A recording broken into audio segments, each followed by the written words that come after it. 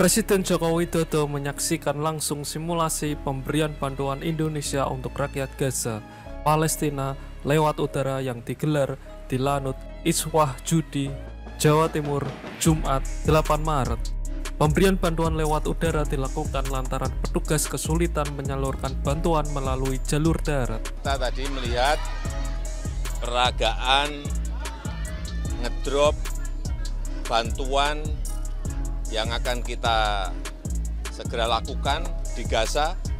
Indonesia merupakan salah satu negara yang diberikan kesempatan untuk memberikan bantuan ke Gaza Palestina lewat udara. Sebelum mengirim bantuan, perlu dilakukan simulasi pemberian bantuan lewat udara dengan menggunakan pesawat Hercules.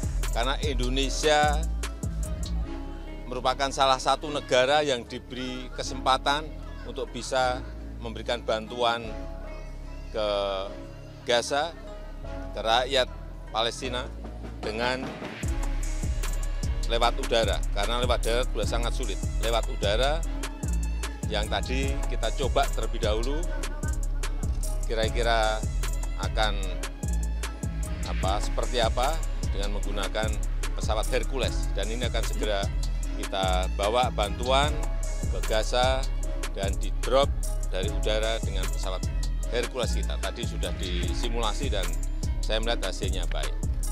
Ia mengatakan hasil simulasi berlangsung baik dan lancar. Bantuan yang diberikan Indonesia ke Gaza berupa aneka kebutuhan yang diperlukan warga Gaza. Jangan lupa like, share, komen, follow fanspage Facebook, dan subscribe channel YouTube Armada Factor. Sampai ketemu di video selanjutnya.